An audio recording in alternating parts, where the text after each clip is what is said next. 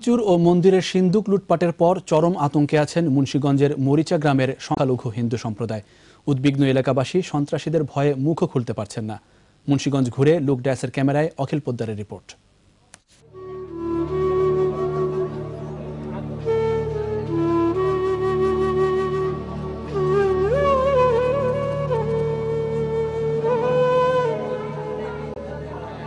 এবারের জন্মাষ্টমীতে মোটেও আনন্দ ছিল না মুন্সীগঞ্জের মরিচা, কামারকান্দা ভাঙ্গা ফিটা খাসুর আর মোল্লাকান্দা গ্রামের হিন্দু সম্প্রদায়ের।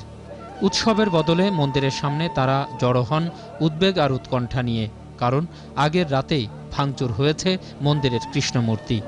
এ ঘটনার পর আতঙ্কিত এলাকাবাসী অনেকেই ভয়ে বাইরে বের হচ্ছেন না। আমি সকালবেলা পূজা দিবার আইছি, দেখি মার কাছে, দেখি কালি পড়ে রয়েছে মা পড়ে রয়েছে আমি কান্তাঘাটি করতে আছি এসে সবাই আইসে হেসে দুইয়ে। আমি হচ্ছে সেই না এম গাইতে ডর করে আমাকে আমরা এক বছর তো আমার টাকা জমাইয়া দিতেছি না সেই ব্যাংকের থেকে টাকাটাও নিয়ে গেছে আমাদের বাদ্যযন্ত্র যা ছিল সব কিছু নিয়ে গেছে। এই অবস্থায় স্কুল কলেজে যাওয়া বন্ধ করেছে অনেক মেয়ে আর শিশুরা। ঘটনাটা দেখার পরে বিশ্বাস জান আমি ওর ওর কিছু খাই নেই। কিচ্ছু খাই নেই আমি এখন পর্যন্ত।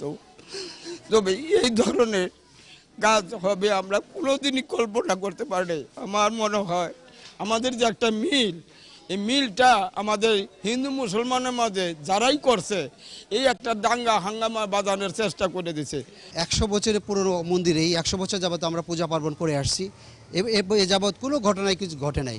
আমাদের সাথে কোনো এই ধর্মীয়ভাবে কোনো মত বিরোধ নাই। হিন্দুদেরও নাই আমাদের মুসলমানও নাই।